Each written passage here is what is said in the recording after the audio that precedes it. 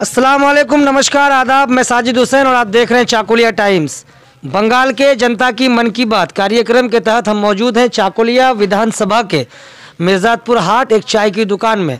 यहाँ आए तो कुछ लोग यहाँ पर मौजूद हैं। और चुनावी बातें चल रही थी चुनावी चर्चा क्योंकि पूरे पश्चिम बंगाल में राजनीति एक अपना अलग रंग ले चुकी है। हर पार्टी अपने अपने तरीके से प्रचार पर जुट चुकी है। तो आइए ज़मीनी स्तर से मालूम करने की कोशिश करते हैं कि चाकुलिया विधानसभा के लोगों के मन में क्या चल रहा है आने वाले 2021 विधानसभा चुनाव के लिए। तो सबसे पहले क्या नाम है भाई? मेरा नाम तो मोहम्मद कौसर है। मोहम्मद कौसर साहब यहीं के हैं आप? यहीं के हैं। अच्छा जिस तरह से अ, आप लोगों को पता ही है कि पश्चिम बंगाल में 2021 अभी 2021 का शुभारंभ हो गया। इसी साल दो तीन महीने बाद जो है चुनाव होना है विधानसभा का। कभी भी ऐलान हो सकता है। तो जिस तरह से राज्य सरकार ममता बनर्जी की सरकार पिछले दस साल से है जो वो काम काज किए हैं पश्चिम बंगाल में उससे आप कितना संतुष्ट हैं? या आने वाले विधानसभा चुनाव के लिए क्या सोचते हैं? देखो जो काम कर रहा है ना तो ठीक ही तो कर रहा है मगर गरीब आदमी जो है ना उसको देखना चाहिए। अमीर आदमी को देखेगा तो होगा कैसे भाई? गरीब आदमी जो मजदूर है जो हेल्पर है जो बाहर में काम करता है उसको देखना चाहिए। और ये जो कन्याश्री रूपश्री जो सिस्टम जो चालू किया ना ये सब तो बकवास है भाई। ये सब जितने भी बोल रहे हैं ना ममता दीदी ना पूरा बकवास है। नहीं तो कन्याश्री रूपोश्री अक्षयाश्री ये भी तो एक योजना है और इस योजना के तहत लोगों को लाभ मिल रहा है। अभी सुन रहे हैं कि जो माध्यमिक दे दिया उसको ढाई लाख रुपए लोन मिलेगा। और जो मजदूर लोग है उसको नहीं मिलेगा। क्यों नहीं मिलेगा? क्यों? उसका पेट नहीं है? और जो माध्यमिक जो पास कर दिया उसका पेट है? और मजदूर का पेट नहीं है क्या? उसको ढाई लाख रुपए लोन मिलेगा और मजदूर लोग को नहीं मिलेगा? क्यों नहीं मिलेगा? इसका ऊपर एक सवाल है। हम्म। क्यों नहीं मिलेगा? वो बाहर से क्या राज्य सरकार ने मजदूरों के लिए कुछ नहीं किया है? कहाँ किया है? हाँ। अभी तक तो कुछ ऐलान ही नहीं किया है ममता दीदी ने। कुछ ऐलान ही नहीं किया है। अच्छा। ये मजदूर के लिए किया जाए किया जाए वो किया जाए कुछ तो ऐलान ही नहीं किया है। करना चाहिए। तब ना ममता दीदी को वोट देगा ना ऐसे ही दे देगा। हम्म। अच्छा काम करता है सबको राशन दिया है बहुत अच्छा काम किया है मगर एक रिक्वेस्ट है कि ये मजदूर को देखना चाहिए गरीब आदमी को देखना चाहिए। जो इंदिरावास आ रहा है गरीब को देना चाहिए। अमीर आदमी को मिलेगा दो तला कर देगा गरीब आदमी को गरीब में रहेगा। जो टीना का खट्टा है टीना के रह जाएगा। मगर गरीब आदमी को देगा तो ममता जिंदाबाद रहेगा। नहीं देगा तो जाएगा। खड्डा में जाएगा। हाँ खड्डा में जाएगा। सही बात बोल रहे हैं। ये बात आपकी बहुत अच्छी बात है कि रोज़गार जो आज हमारे पश्चिम बंगाल के युवाओं को खासकर यहाँ के मजदूर टाइप के लोगों को जो अलग राज्य में हरियाणा पंजाब दिल्ली उत्तराखंड हिमाचल बेंगलोर पूना कई राज्य हैं जो काम करने के लिए जाना पड़ता है। वो एक बहुत बड़ी समस्या है हमारे बंगाल के लिए कि यहाँ पे उस तरह का कोई रोज़गार नहीं बन पा रहा है। कहीं ना कहीं मैं भी आपकी इस बात से सहमत हूँ। नहीं होगा। क्यों नहीं होगा? यहाँ पे जो हिमाचल का आदमी इधर तो काम करने नहीं आता भाई। आता है क्या? नहीं आता है। इधर नौकरी करने के लिए आता है वो लोग। दिल्ली का आदमी तो इधर काम करने नहीं आता है। वो इधर नौकरी करने के लिए आता है। बंगाल और बिहार का आदमी बाहर में काम करता है। ठीक है? बंगाल और बाहर का। और बंगाल और बिहार का अगर लोन मिल जाएगा दो दो दो लाख करके तो ये भी बाहर नहीं जाएगा। इधर ही बिज़नेस स्टार्टिंग करेगा। क्यों जाएगा बाहर कमाने के लिए? किसी को मार खाने क्यों जाएगा? हाँ? किसी को मार खाने के लिए क्यों जाएगा? अभी यहाँ हमारे यहाँ के जो मौजूदा चाकोलिया के विधायक हैं अली इमरान रम्स विक्टर क्योंकि विधानसभा का चुनाव है वो भी चुनाव लड़ेंगे स्पष्ट है। उन्होंने जो कुछ किया उससे आप सहमत हैं कि कुछ कर पाए हैं कि नहीं कर पाए देखो के लिए? अभी तक तो मैं उसको मेरा उम्र तो अभी कम से कम छब्बीस सत्ताईस साल हो गया है। हम्म। छब्बीस सत्ताईस साल में हम अभी तक उसको दो दो बार दो बार तो वोट दिया है। हम्म, दो बार में वोट देने का तो मेरे तो कुछ भी काम नहीं है तो मैं उसको नाम क्यों करेंगे? मेरा तो अभी तक एक भी काम करके नहीं दिया तो उसका नाम में क्यों करेंगे? नहीं इलाके के लिए कुछ किया है कि नहीं? इलाके इलाके के लिए कहाँ किया है? भांगा बीरी देखो दो हज़ार क्या बोले दो हज़ार सत्रह से टूटा है क्या काम किया इसमें? एक हाँ? क्या किया इसमें? ये इसको ठीक करना चाहिए कि नहीं करना चाहिए? हाँ? इसके लिए सोचना चाहिए या सोचना नहीं चाहिए। उधर का आदमी के जाने का आने के लिए दिक्कत इधर को जाने के लिए उधर की दिक्कत खेती भी सब की दिक्कत। मगर वोट लेने के लिए भाई हमको वोट दो हम मनाएँगे। हाँ? और वोट मिलता है भाई हम तुम कहाँ? हम कहाँ तुम कहाँ?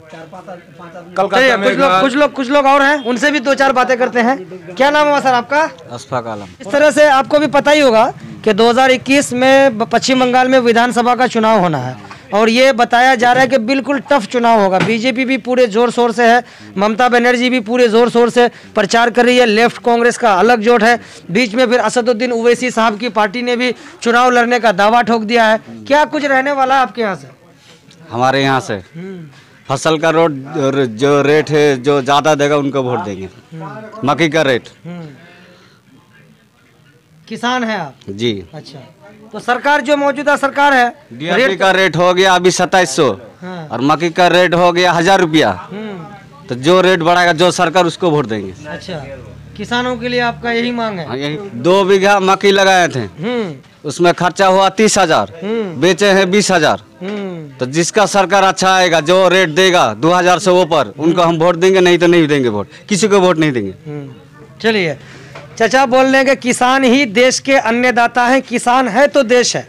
अन्न उगाता है। हम आप जो घर पे बैठ के खाते हैं वो किसानों के मेहनत से ज़मीन का सीना चीड़ कर किसान फ़सल उगाते हैं और वो घर घर तक अनाज पहुंचाते हैं तभी लोग ज़िंदा है। चचा बोल रहे किसानों के प्रति कुछ। क्योंकि सरकार अगर कोई बाज़ार में या शहर में या टाउन में कोई इंडस्ट्रीज़ खोलता है हम्म। तो उस पर वो अपना एमआरपी बैठा देते हैं। हम्म। तो हम लोग जो किसान हैं तो हम लोग जो अन्न उगाते हैं ज़मीन को चीर के हम्म।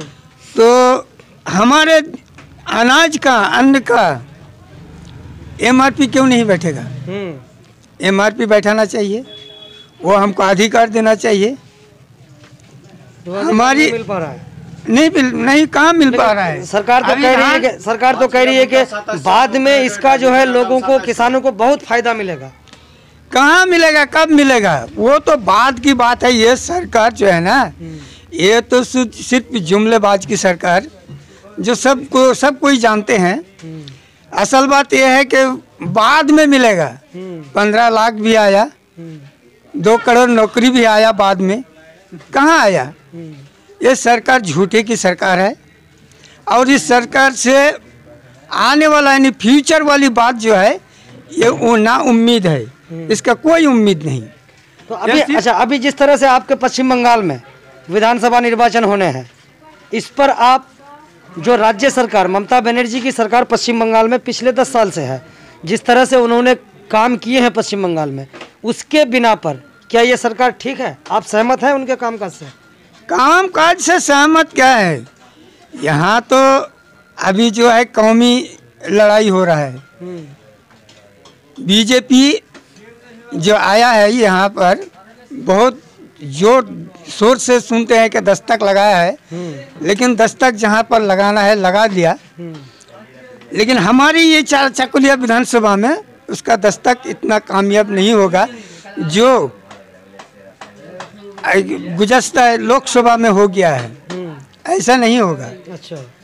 उम्मीद है।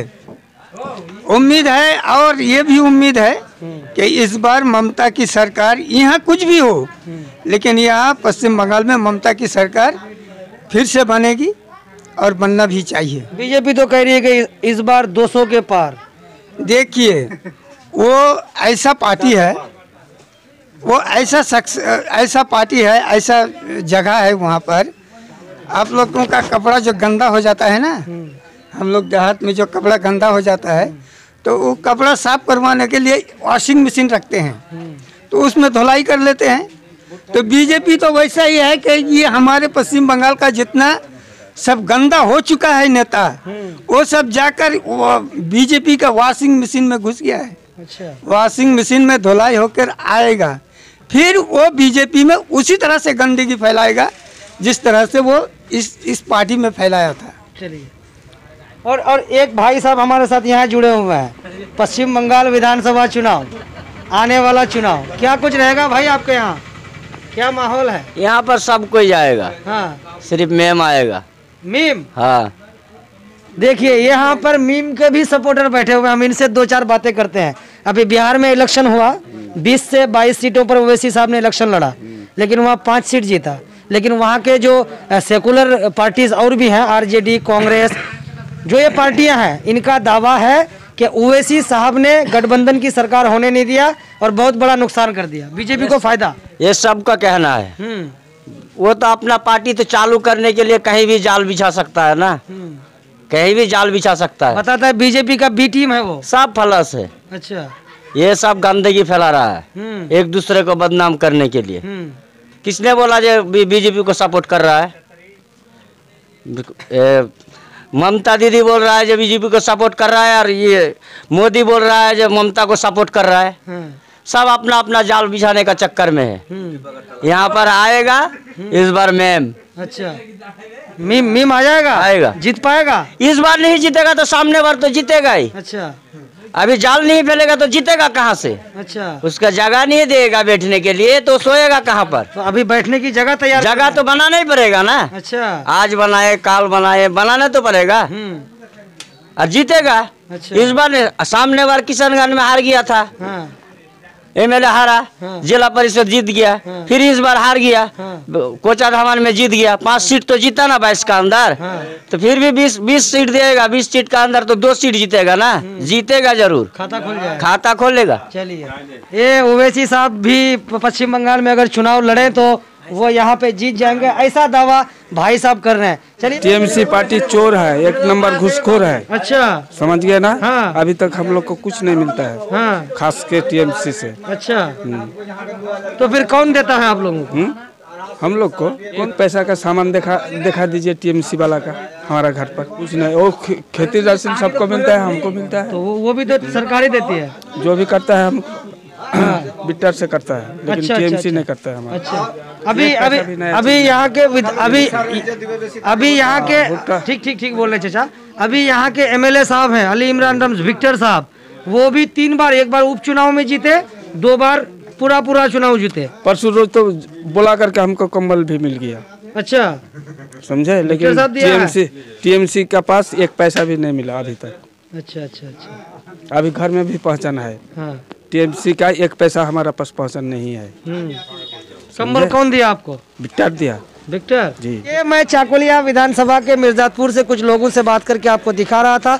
लोगों की बातें आपने सुनी यहाँ पर ओवैसी साहब के भी समर्थक मिल गए अली इमरान विक्टर वामफ्रंट के भी समर्थक मिल गए तृणमूल कांग्रेस के भी समर्थक मिल गए। सबकी बातें आप लोगों ने सुनी कैसी लगी? नीचे कमेंट करके हमें ज़रूर बताएँ। वीडियो को ज़्यादा से ज़्यादा शेयर करें चैनल को सब्सक्राइब कर बेलाइकन को दबाएँ। चाकोलिया टाइम्स के लिए चाकोलिया विधानसभा के मिर्जापुर से मैं मोहम्मद साजिद हुसैन।